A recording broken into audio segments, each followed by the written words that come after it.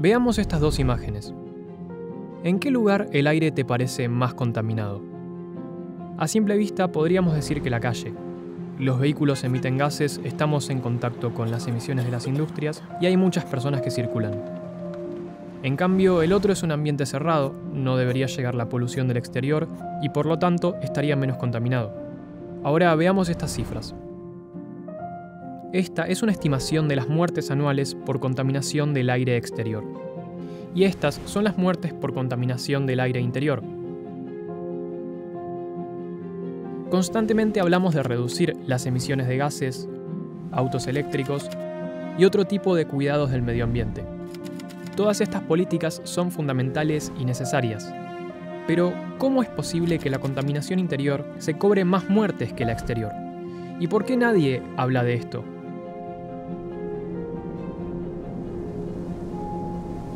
La contaminación del aire en interiores existe.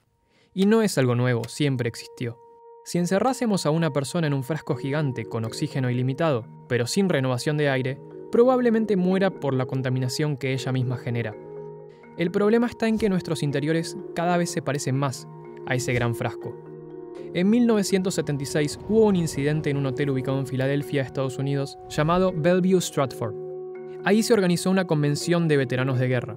Unos días más tarde, 29 de los asistentes murieron y 182 contrajeron una enfermedad similar a una neumonía. Meses después se descubrió que esta tragedia fue causada por una bacteria que circulaba dentro del edificio. La bacteria logró reproducirse por todo el lugar debido al sistema de aire centralizado del hotel. Este tipo de situaciones en las que un edificio actúa como propagador de una enfermedad son conocidas como síndrome del edificio enfermo, y son más frecuentes de lo que creemos.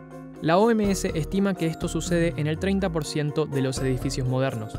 En la mayoría de los casos sucede por un sistema de ventilación que recicla el aire del interior.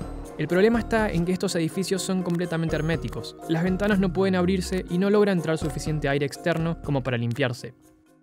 Pero esto también puede suceder en tu casa.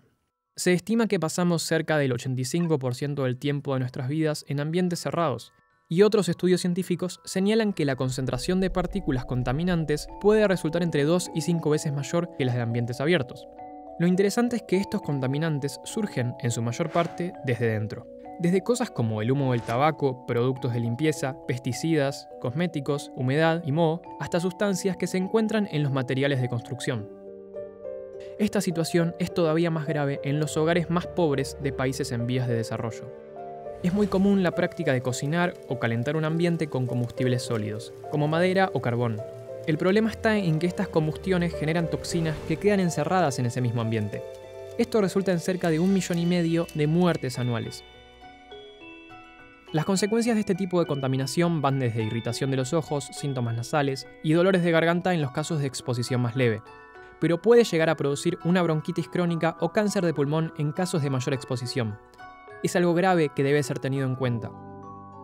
Unas simples recomendaciones para disminuir este efecto en tu casa pueden ser abrir las ventanas, usar un purificador de aire y evitar los combustibles sólidos siempre que sea posible. También es una buena idea poner más plantas en tu ambiente. Son capaces de eliminar muchas toxinas que se encuentran en el aire y renovar el oxígeno. Pero a veces no tenemos control de los espacios en los que nos movemos. El trabajo, la escuela o el transporte público también pueden verse afectados por este tipo de contaminación. Por eso es necesario comenzar a incorporar algunos hábitos a nuestra rutina y ser cada vez más conscientes de que esta problemática es real.